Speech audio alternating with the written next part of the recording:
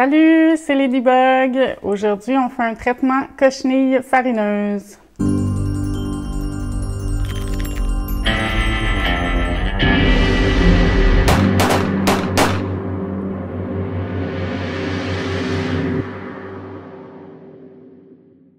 Donc, les cochenilles farineuses ont un cycle de vie assez lent.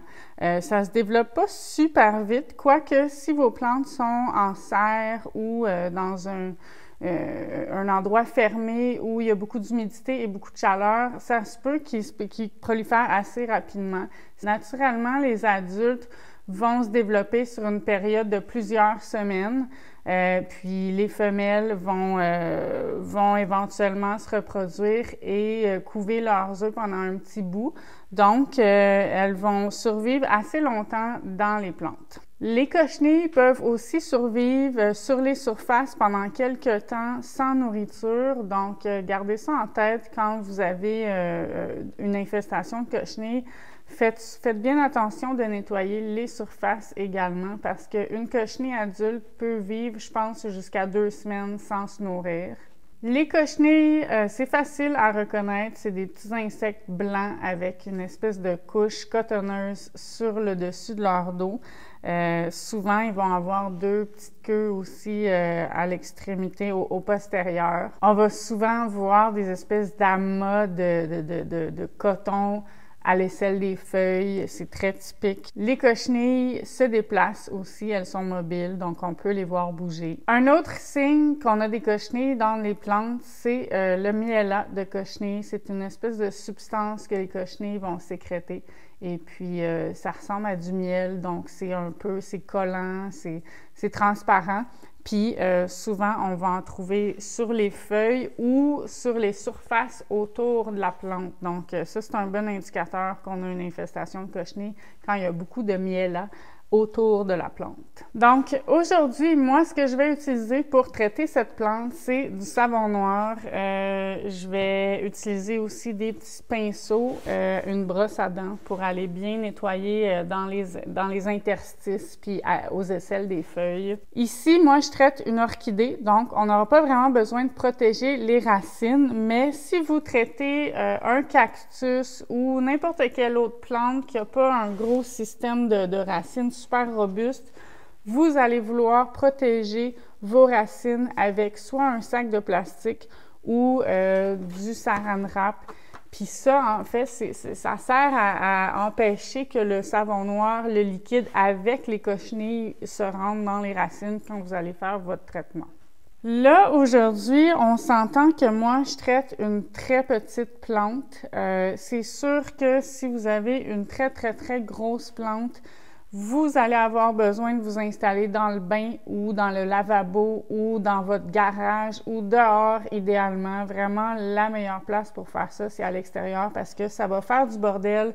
Il va y avoir de l'eau, du savon noir, des bébites un petit peu partout sur les surfaces autour.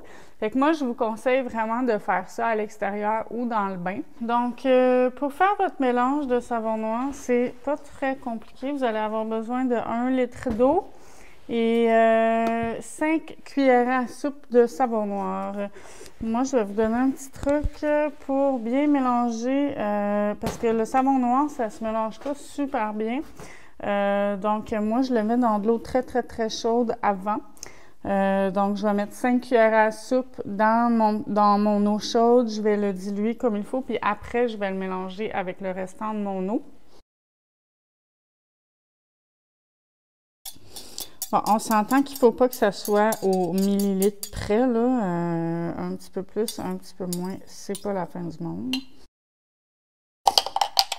OK, c'est déjà pas pire. Euh, vous pouvez mettre aussi une cuillerée à soupe d'huile d'olive ou d'huile de Nîmes ou d'huile minérale, peu importe l'huile que vous avez à la maison. Et puis une cuillerée à soupe d'alcool à 70% Moi, aujourd'hui, je vais pas mettre d'huile parce que de toute façon, euh, je vais faire un autre traitement après celui-là, puis euh, celui-là, il va être à l'huile. Fait que je vais, je vais laisser faire l'huile pour l'instant. Là, je vais mettre mon litre d'eau ici.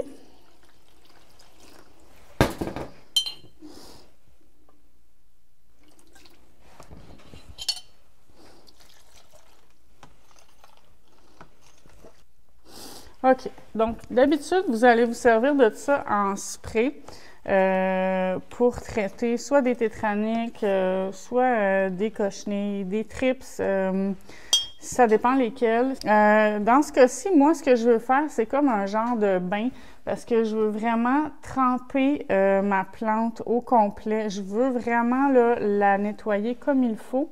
Euh, je veux pas juste la pulvériser parce que avec les cochenilles, leur, espèce de, de couche protectrice, pardon, qu'ils ont sur le corps. Si on fait juste euh, faire un spray, euh, c'est pas assez, ça leur coule sur le dos.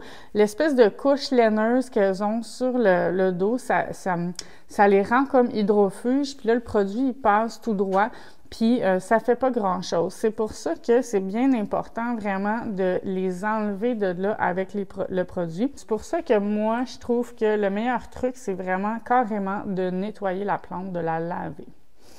Fait que je vais venir prendre euh, soit une petite brosse à dents ou un petit pinceau, puis je vais carrément euh, frotter les feuilles une par une. Ça peut être fait aussi avec une petite guenille. Donc euh, voilà, vous allez frotter vraiment comme il faut, là, toutes les petites cochenilles avec un pinceau vous pouvez aussi prendre une brosse à dents, n'importe quel outil que vous pouvez trouver qui va vraiment venir déloger les cochenilles. Ça peut aussi être une petite guenille qu'on va frotter les feuilles. moi, je vais prendre ma guenille. Je vais faire le gros du travail, dans le fond, avec la guenille. Puis après ça, regarde, la grosse ici. Après ça, on va y aller avec le petit pinceau. Si vous traitez une autre sorte de plante ou des cactus, vous allez vouloir emballer la motte dans un sac de plastique comme ceci. Puis, c'est vraiment, il faut y aller feuille par feuille. C'est pas, euh, pas super compliqué. Il faut juste prendre le temps de le faire. Ici, on a une petite plante. Si vous avez une grosse plante, comme j'expliquais plus tôt, ben ça va être vraiment d'y aller euh, feuille par feuille, tige par tige.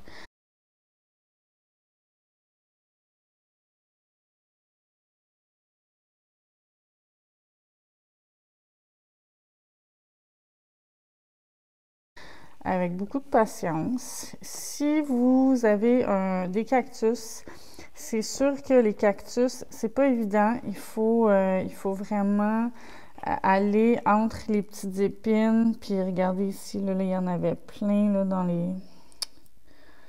Dans le creux, là, il faut tout aller enlever ça bien comme il faut. Donc, c'est ça. Si vous avez des cactus, euh, ben c'est pas évident. Il faut vraiment y aller euh, entre les petites épines le mieux possible. Tu sais, essayer de trouver une mini, mini brosse, euh, quelque chose de très, très, très petit. Ça va faire la job, mais faites, faites de votre mieux. Là, je veux dire, c'est pas une science exacte. Il va falloir vraiment que vous fassiez de votre mieux. C'est sûr que moi, je vous montre un, exemple qui est assez facile. Une orchidée, ça a des grosses feuilles. Euh, c'est pas très compliqué. Mais euh, vous avez une bonne idée, là, dans le fond, de ce qu'il faut faire. Fait que appliquez-le à, la plante que vous avez, avec les outils que vous avez, puis l'espace que vous avez, puis ça devrait aller. Donc, c'est pas plus compliqué que ça. Vous voyez, là, c'est vraiment, gars, ça a pris euh, une minute, ils sont toutes parties. Là, ce que je vais faire, je vais aller rincer cette plante-là. Puis euh, après ça, je vais la laisser sécher. On va regarder comme il faut. Donc voilà, je vais la rincer.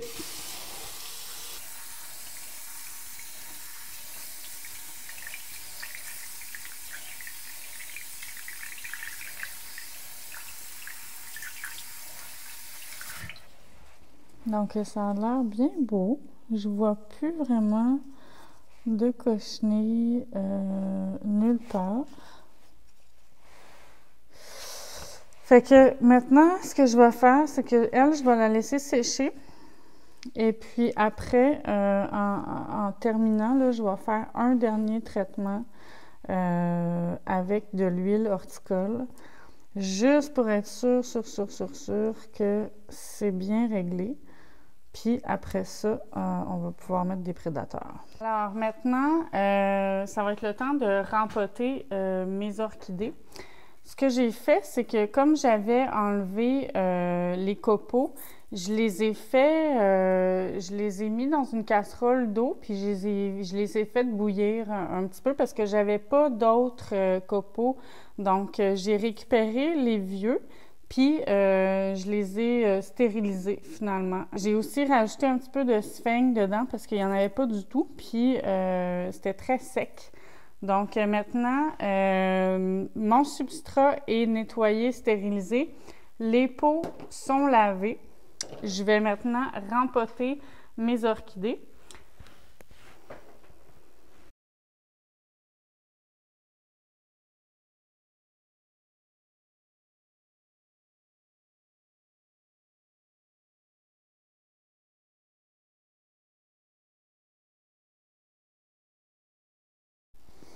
Donc voilà, maintenant j'ai mes deux orchidées rempotées. Euh, la dernière étape, ça serait de faire un traitement euh, avec de l'huile horticole. Euh, je ne vais pas le faire à la caméra parce que c'est très salissant et puis je ne veux pas faire ça ici là, dans mon atelier, donc je vais le faire dans mon garage. Euh, mais ça, dans le fond, le, dernier traitement à l'huile, c'est vraiment euh, préventif plus que d'autres choses parce que là, mon traitement avec le savon noir, je le sais qu'il a fonctionné. Il n'y a plus de cochenille, j'en vois plus du tout, du tout, du tout.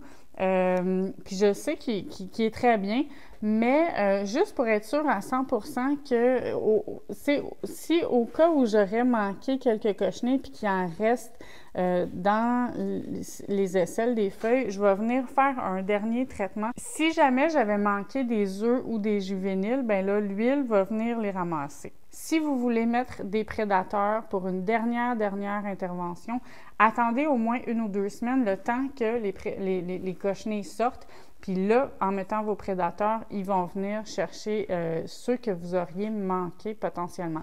Euh, là, en plus, on, s'entend que euh, ça a été un, traitement assez difficile pour la plante. Fait que là, vous allez vouloir les chouchouter. Fait que donnez-leur de la lumière pas nécessairement des engrais tout de suite, mais peut-être des algues, puis beaucoup d'humidité pour, pour leur donner vraiment là, les meilleures chances possibles pour se remettre de cette intervention-là. Puis euh, beaucoup d'amour. Tu sais, là, rendu là, il faut les chouchouter. puis c'est ça, c'est pas mal ça le, traitement pour les cochenilles farineuses. donc voilà. Merci, bonne journée.